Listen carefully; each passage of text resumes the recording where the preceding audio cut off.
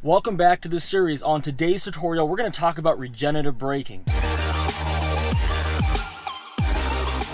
So on the surface, what is it? Regenerative braking is where you basically, rather than taking your foot off of the brake as you're used to, you just simply take your foot off the accelerator and the car uses the motors to slow the car down. So there's a lot of reasons why people use this and why they like it. One is it saves your brakes. The less you have to use your brakes, obviously, the, you know, less you have to replace them. Also, the car takes the energy from those motors and it goes right back into your battery. Now, don't expect to see percentage increases in your battery, but what it does do is slow down how much it gets eaten up. I've heard stories of somebody on a really long hill actually seeing an increase in their percentage one time, but don't expect to see that normally. Now, there is a learning curve for this. It takes about one drive to get used to it, maybe two. But if you're wondering about what point you take your foot off the accelerator to match what you used to do when you took your foot and put it on the brake, I found for me when I have it in the standard mode, so the basically the most aggressive regenerative braking that you can have, it's almost the exact same as when you put your foot on the brake at a stop sign. You're still going to have to use your brake though. I mean, it's not going to replace things like somebody cutting in front of you or almost missing a turn so you have to hit your brake real hard. It just replaces that gradual slowdown you would normally just start, you know, slowly putting your foot on the brake to stop for a light or another car, uh, you know, that stopped at a light, stop sign, just your normal kind of casual braking. You'll feel this a lot when you're going down the freeway and you want to just kind of drop 10 miles per hour or 5 miles per hour by taking your foot off the accelerator just a little bit, you find that the car does a fast deceleration. So now let's go over the settings. So if you pull up your settings panel and you go into the driving panel here, you've got acceleration, steering mode, and then regenerative braking. Low means that it's going to have a lot less regenerative braking than standard. Standard is just kind of what you would do, like we're talking about now, where you would uh, simply replace using the brake at a stop sign, stop light. So the question is, how much regenerative braking do you want to have when you take your foot off the accelerator? I recommend going out and attempting to use both. You're going to find yourself over here because this just isn't enough, uh, but it might be a good transitional mode while you're learning to get used to regenerative braking. Nothing wrong with using it. It's your car. You should know what each of these options do. Go out and drive with both of them and get used to it. So stopping mode is kind of tied into regenerative braking, and that just basically tells the car what to do when regenerative braking has done its job and you're about to come to a stop. Do You want the car to creep forward, to roll, or to actually come to complete stop.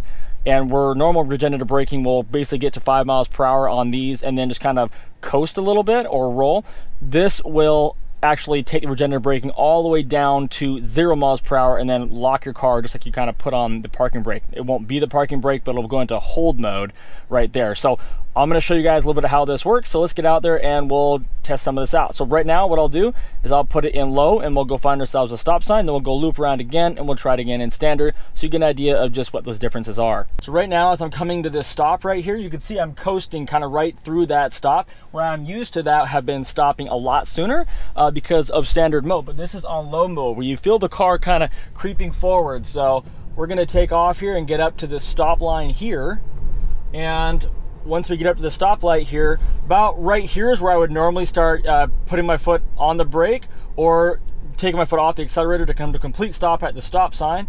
And uh, you can see right here, so it's coasting, it's coasting. There's no way it's gonna stop. So I'm going to have to use the brake there uh, to get through that. So what I'm gonna do here is I'm gonna go straight through this and uh, we'll come at this again. So now if I wanted to take a left turn here, again, I take a foot off the accelerator. I'm not using any brake right now. You see no brake lights here. It's very, very unaggressive compared to standard mode. So we're gonna loop back here. We'll do one more stop at the stop sign here. You can see um, I'm probably a good, I don't know, 100 feet right now, going 23 miles an hour. Right now, I take my foot off the accelerator and it's, you know, it does a job just fine. It's just not very aggressive. Like it's still gonna stop me uh, just fine right there. But let me show you. So you've seen how that decelerates. Let's go now and uh, let's change it and put it into standard mode. So come back into driving. You can do this while you're driving, go to standard. And now watch the speed. When I let go of it, it's going to grip it a lot faster. You can see that I've come to a stop a lot quicker here. And where you really feel it is when you get down to those slower speeds. That's when you really feel that a lot greater uh, uh you know the word, can't think of the word. Where you really notice it in standard mode is like when you're riding behind a car like this, like watch, I take my foot off the accelerator, you see, look at how fast the car drops. See, it goes really quick there. Whereas we put it back into standard mode, or low, I guess you'd say, I take my foot off the brake, and it's, again, it's just very gradual. It's, it's almost like your normal car, a normal car would do when you took your foot off the accelerator, just a little bit more than that. And it's not as visual, it's more something you feel, which is why I recommend you go out and actually put your car in both the modes and really see what you like. They both definitely work, they both stop your car, it's just how fast you want it to be stopped and how aggressive do you want it to be stopped. So we're gonna go back and do the exact same loop again, but this time we're gonna do it on standard, and so you can hopefully see a little bit of a difference. So before I do put it back on standard though, one more light right here coming up, again, 20 feet from the car in front of me, not a chance I'm slowing down in time, have to use the brake. Standard would have definitely stopped me uh, in that time frame. Like right there, these guys all hit the brakes to turn. I just took my foot off the accelerator and I slowed down really hard, all just the braking. I mean, all just the motors doing that, nothing on my own. So the regenerative braking, it works really well. There's a few other points though too. You know, people say, well, what about the brakes getting kind of corroded and that kind of thing? Um, apparently, and I don't know this for sure, but everyone keeps telling me this, that the Tesla designed where automatically does use the brakes randomly to keep your brakes clean. So I don't think that's an actual issue with Tesla, at least not with the Model 3.